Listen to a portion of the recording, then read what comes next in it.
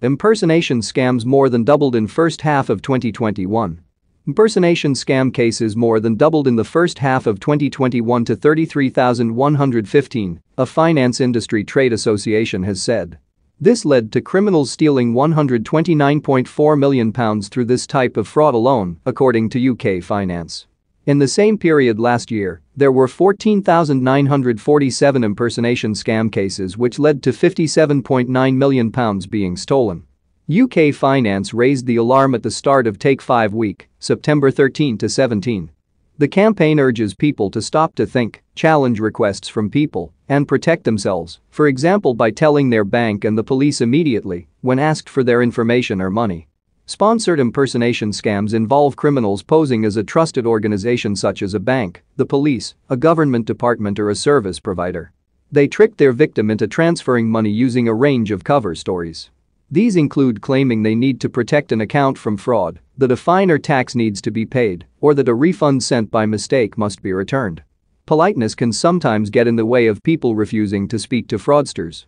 Research for the Take 5 to Stop Fraud campaign found nearly a fifth, 19%, of people feel uncomfortable saying no to a request for personal information from a stranger via email or text, rising to nearly a quarter, 23%, when it comes to phone calls.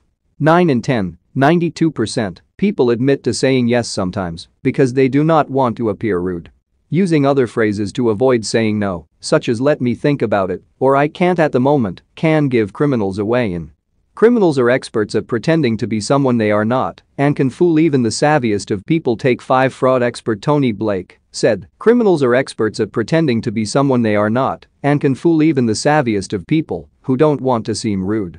If someone contacts you unprompted and asks for personal or financial information, stop and take a moment to think, even if they claim to be from an organization you trust. Only criminals will put pressure on you to act quickly Remember, it's okay to say no and contact the organization through a route you know to be genuine. The banking and finance industry works to tackle fraud on every front through investing millions in advanced technology and working closely with the government and law enforcement to stop the criminal gangs responsible. Philip Robinson, Retail Fraud Prevention Director, Lloyds Bank said, fraudsters are sending phishing texts and emails to trick people into entering their banking details, then using them to get in touch and pretend to be their bank.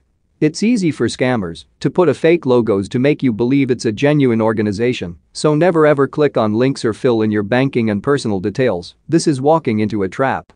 Your bank or a genuine company will never ask you to move money to a different account, and if anyone does, it's definitely a scam, no matter how genuine it may appear or what the caller is saying. Treat every email, message or call that you're not expecting with caution. Step back and think what you are being asked before rushing into anything or talk to a friend or family member first and pay close attention to any warnings that may appear when banking